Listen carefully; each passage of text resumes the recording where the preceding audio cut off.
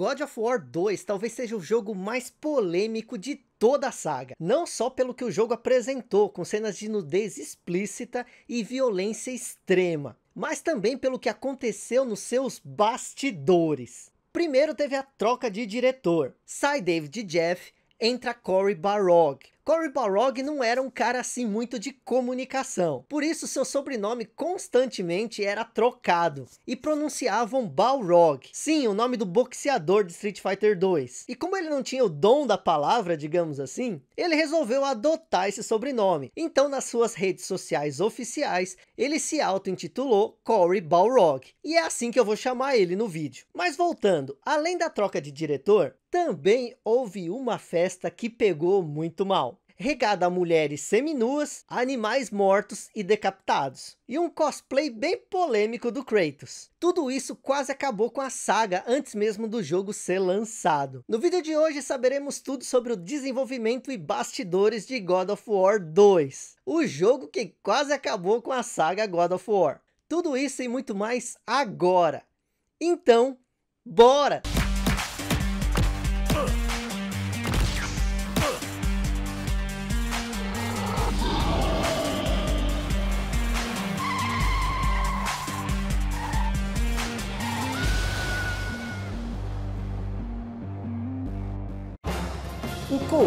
De Jeff e Balrog.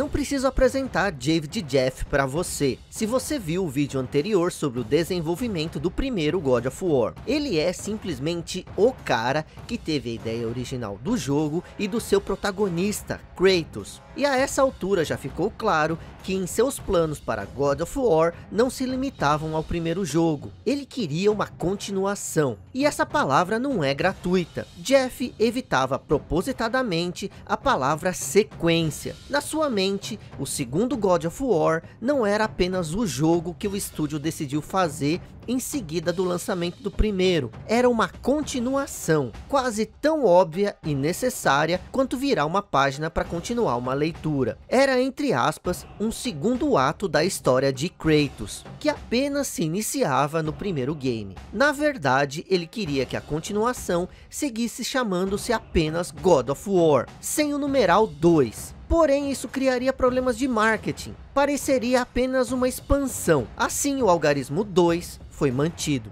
Jeff não estava sozinho nesse modo de ver o projeto. O desenvolvedor Cory Balrog também partilhava da ideia. Ele tinha trabalhado na produção do primeiro game e foi responsável pela animação do protagonista. A ideia do personagem foi de Jeff, mas sem Balrog ele não teria ganhado vida. O próprio Jeff disse numa entrevista que Balrog era tão ou mais, entre aspas, pai do Kratos que ele próprio. E esse foi o cara que ele escolheu para tocar a produção do segundo game. Isso mesmo, David Jeff observaria de longe como diretor criativo, enquanto a direção principal ficaria nas mãos de Cory Balrog. Retomando o desenvolvimento de God of War.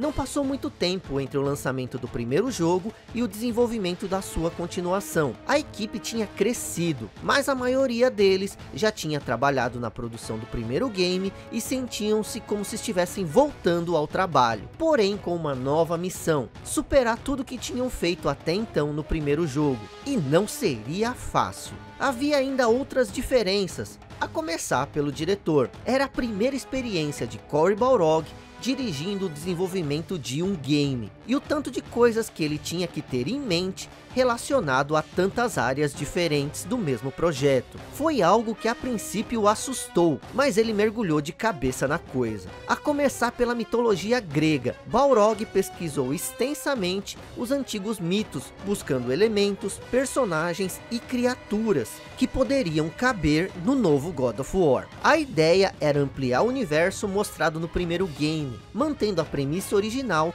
de um jogo de ação e aventura que usa combates, puzzles e exploração como motores para a progressão dessa narrativa. A diferença de ter Balrog no lugar de Jeff na direção poderia ser sentida pela equipe. Toda a passionalidade de Jeff era motivante, mas também geradora de tensão, como vimos no primeiro vídeo. Já o relacionamento com Balrog era frequentemente mais fácil. Porém, o novo diretor, na sua busca pelo melhor em cada aspecto, frequentemente mudava de ideia, o que fazia a equipe retrabalhar coisas que já haviam começado a desenvolver. Contudo, a diminuição da tensão com o afastamento de Jeff não significa que ele tenha desaparecido completamente. Pela sua própria arquitetura, o principal local de trabalho parecia uma arena, onde arrumavam-se as estações de trabalho próximas uma das outras. Esse formato agilizava as comunicações entre setores da produção. A ideia era colocar setores afins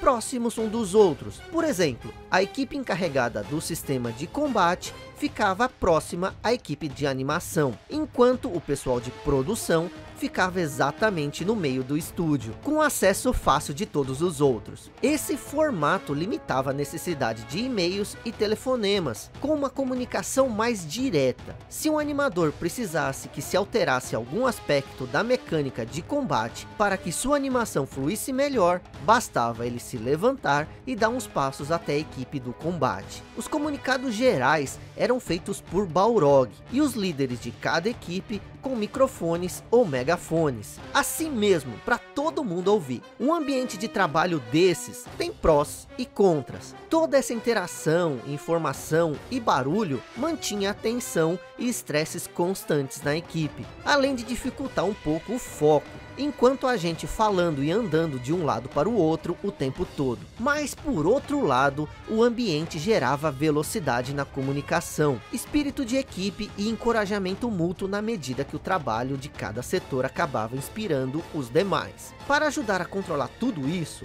Balrog estabeleceu reuniões semanais com os líderes de cada equipe, tudo para otimizar o tempo necessário para o desenvolvimento do segundo God of War. Nessa atmosfera efervescente, eles partiram dos resultados do jogo anterior para seguir e ampliar as aventuras de Kratos. Alguns aspectos dessa ampliação consumiram o trabalho necessário para produzir um pequeno jogo inteiro. O lendário Pegasus é um exemplo disso. Da mecânica de gameplay num cavalo alado, até o aspecto gráfico das suas asas, toda a construção apenas desse aspecto do jogo roubou horas de sono de seus desenvolvedores. Um setor que teve que responder a uma crítica frequente do primeiro game, certo desconforto com a câmera que deixava elementos importantes fora do campo de visão em alguns momentos. Então eles trabalharam para que fossem esquecidos, pois a ideia que tinham em mente era que a câmera do jogo deveria funcionar tão bem que o jogador comum sequer parasse de pensar nela. Os elementos básicos da exploração, puzzle e combate ainda estavam lá, porém eles se entrosavam melhor. Algumas batalhas de boss, por exemplo, não funcionam com Kratos simplesmente indo com tudo. Era necessário descobrir o modo de causar dano àquele boss e esse modo frequentemente envolvia recorrer a mecânicas de exploração e uso de plataformas. O momento da descoberta deveria dar aquele estalo na mente do jogador, que agora sabia o que fazer com a tal resolução do puzzle. Assim, os elementos do jogo se mesclavam num gameplay recompensador. Vocês notaram a semelhança com Shadow of the Colossus? Aliás, eu fiz um vídeo dedicado ao desenvolvimento desse jogo. Caso você quiser ver, vou deixar nos cards. A magia agora tinha um papel maior nos combates, mas os elementos de hack and slash e as mecânicas de quick time events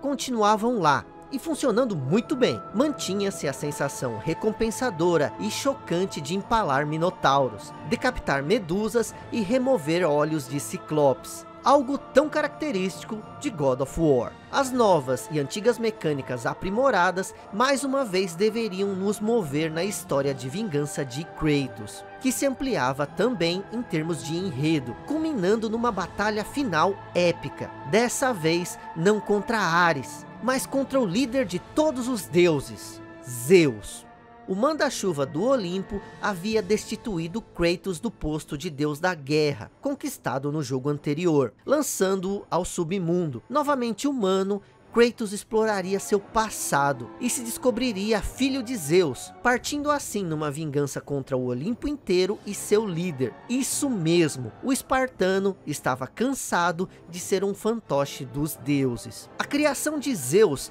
demandava atenção especial. Ele representava muito mais que um chefão final. Era um antagonista geral, que com certeza figuraria se eventualmente houvesse um terceiro jogo. E funcionava como elemento de inserção da história de Kratos no território clássico da mitologia grega. Tal é a importância do arquétipo de Zeus nos mitos. As equipes de arte conceitual, animação e combate trabalharam de modo especial nesse personagem. Zeus deveria ser imediatamente reconhecível, dono de uma assombrosa grandeza e o combate final com ele deveria ser digno do clímax do jogo, algo que permanecesse na mente do jogador após o fim do game. Um personagem tão grandioso deveria ter uma interpretação igualmente marcante, e eu estou falando de sua voz. O time de dubladores de God of War 2 foi notável. Corey Burton interpretaria Zeus, enquanto Terence Carson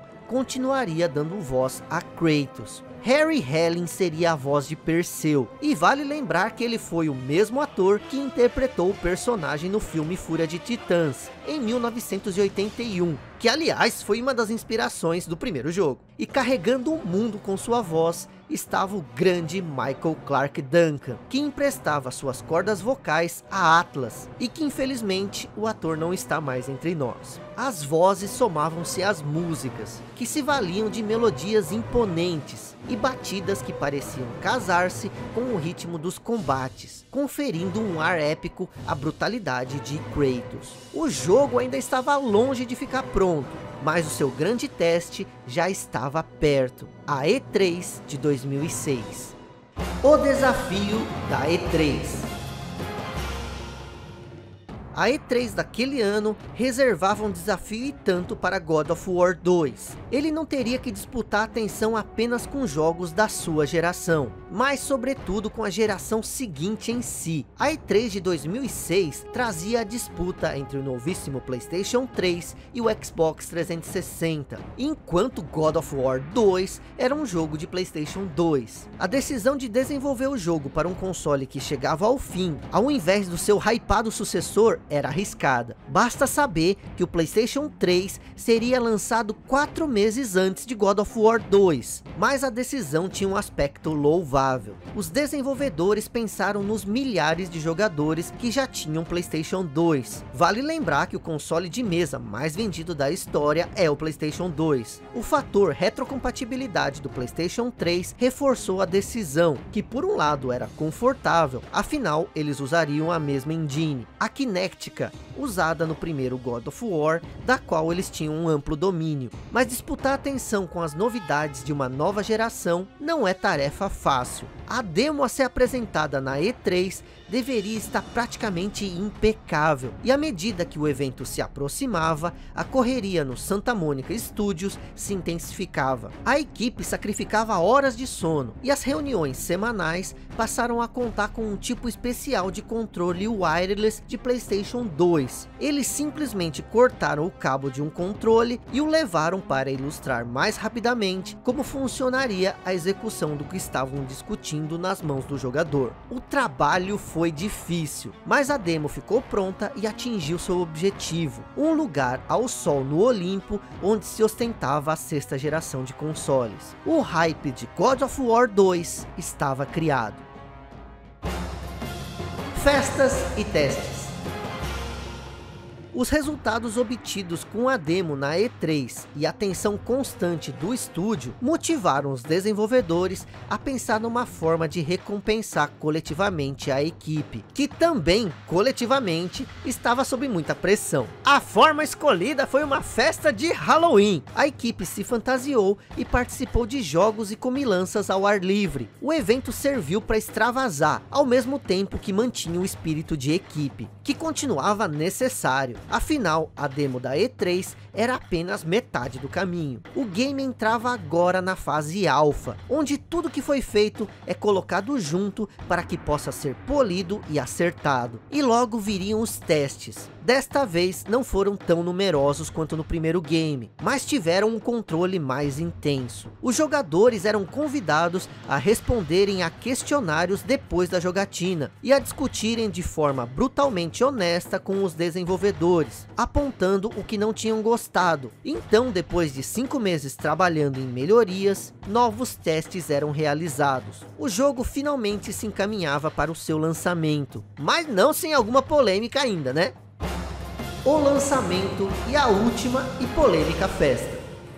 God of War 2 foi lançado em 13 de março de 2007, contando com uma festa de lançamento que tentava promover o clima do jogo, de uma forma bem peculiar. O evento aconteceu em Atenas, na Grécia, e as referências à ambientação do jogo não ficaram só aí. O clima brutal e dionístico das aventuras de Kratos estava presente. Imaginem quem tinha uma cabra, sim, uma cabra de verdade, decapitada sobre uma das mesas. Moças de topless colocavam uvas na boca dos participantes, enquanto um modelo vestido de Kratos lhe dava guirlandas. É claro que isso não foi a melhor das ideias de divulgação. Gerou uma grande polêmica, que envolveu de ativistas dos direitos dos animais a periódicos que não costumavam sequer tocar no assunto videogame. Para piorar tudo, fotos do evento foram publicados numa revista oficial do Playstation. A Sony acabou se desculpando e recolhendo a tiragem da revista, relançando-a em seguida sem essas fotos polêmicas. Porém, mesmo com esse estrago na reputação, digamos assim, que pra mim foi jogada de marketing, mas tudo bem, God of War 2 foi um sucesso de público e crítica. Ainda hoje, há quem considere o melhor jogo da franquia e a obra-prima do Playstation 2. Bom, eu não acho que é o melhor jogo da franquia, mas que é um dos melhores jogos do Playstation 2, ele é. O jogo conseguiu ao mesmo tempo ter um enredo completo, um clímax marcante e deixar claro que Kratos e Zeus se encontrariam novamente. Mas esse é assunto para o próximo vídeo de God of War. Mas eu quero saber de você, quais as suas lembranças com God of War 2? Eu tô muito curioso, me fala aí nos comentários. E se você quiser ganhar um coração meu, escreve aí nos comentários Zeus, o deus de todos os deuses e também o principal antagonista de God of War 2 e também de God of War 3, né? Ah, e não se esquece, me segue no Twitter e no Instagram. No Twitter a gente pode conversar sobre tudo. E no Instagram eu posto foto de itens que eu ainda não mostrei aqui, além de você saber um pouco mais da minha vida aqui no Japão. Então me segue lá, arroba Vitorisui, no Instagram e no Twitter. Eu sou o Isui, obrigado a você que viu o vídeo até aqui, e até mais.